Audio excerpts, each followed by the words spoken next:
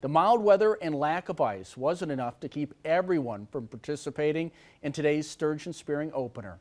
In a First Alert update, Jamal James shows us some of the excitement at a local registration station.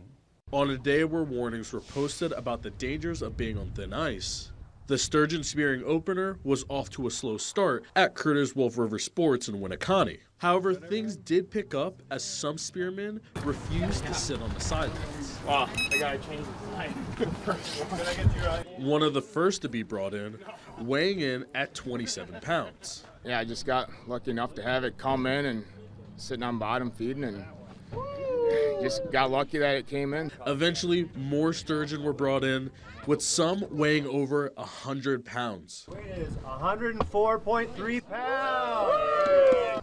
I've only speared one my life, uh, you know, and it was 35 pounds, so this is a little bit of an upgrade for me. It's still unreal. Um, it'll kick in soon.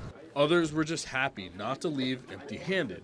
This is my third fish I've ever gotten, my biggest out of all three. I was sitting with my cousin and it came through, could barely see the head, and I just took a shot and ended up getting it. Still, there were plenty of concerns about thin ice and staying safe. I was kind of confident that we had good ice to get to where I needed to be, and uh, yeah, it, it, managed to hold up for me. It is definitely by far the scariest year I've been out there. We are pretty smart with how we went out, took our time, we're safe. We are out yesterday scouting everything, so I mean, just stay away from open water and check as you go. Reporting in Winneconne, Jamal James, Action 2 News.